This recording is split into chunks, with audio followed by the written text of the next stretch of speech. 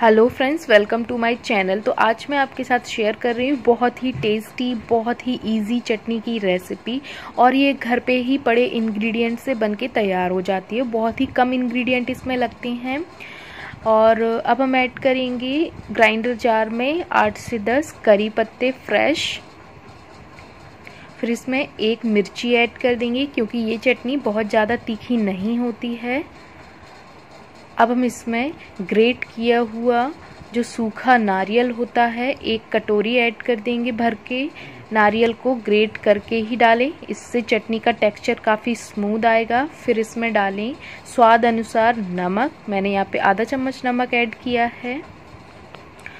फिर इसमें दही डालेंगे फ्रेश दही। आधा कटोरी डाला है। फिर यहाँ पे एक पैन रख देंगे गैस पे। उसमें डालेंगे एक चम्मच ऑयल। ऑयल हमारा अच्छे से गर्म हो जाएगा। फिर हम इसमें एक चम्मच जो चने की दाल होती है ना, घर पे जो हम दाल बनाते हैं, वही वाली दाल डाल देंगे और चलाते हुए इसको गोल्डन ब्राउन होने तक हल्का सा भून लेंगे। कच्ची नहीं डालनी है, भून के ही डालनी है। टेस्ट काफ़ी अच्छा आएगा। इस चटनी को आप इडली के साथ, डोसे के साथ बहुत बार खाया होगा तो स्ट्रीट में मिलती है, वही हम बना रहे हैं यहाँ पे।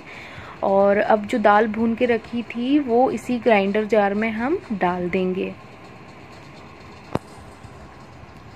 फिर यहाँ पे उसी कटोरी से माप के पानी डाल दिया है और अच्छे से एकदम स्मूथ पीस लिए तो ये देखिए, आप कोई कह नहीं सकता कि ये हमने सूखे नारियल से बनाई है। तो यहाँ पे अब हम तड़का तैयार करेंगे चटनी का।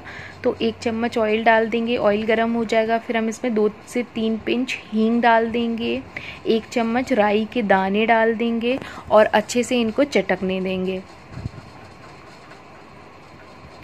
एकदम स्ट्रीट वाली चटनी बनके तैयार होगी और बहुत ही कम इंग्रेडिएंट से बन जाती है ये चटनी। लाल मिर्ची डाल देंगे तोड़ के तड़के में और थोड़ी से करी लीव्स डाल देंगे और तड़का अच्छे से चला देंगे। तो यहाँ पे हमारा तड़का भी तैयार हो गया है।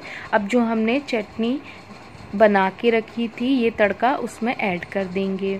तो ये देखिए, सूखे नारियल से हमने कितनी टेस्टी चटनी बनाई है।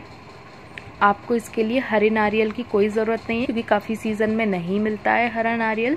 तो सूखे नारियल से ही आप चटनी बना सकते हैं। बहुत ही टेस्टी चटनी बनती है। रेसिपी अच्छी लगी हो तो मेरे चैनल को लाइक शेयर एंड सब्सक्राइब ज़रूर करें। थैंक